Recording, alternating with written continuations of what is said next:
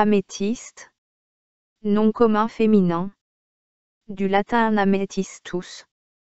En minéralogie, variété de quartz violet utilisée en joaillerie et classée comme pierre fine. C'est également un nom commun masculin, qui désigne une couleur nuancée de violet caractéristique de la pierre du même nom.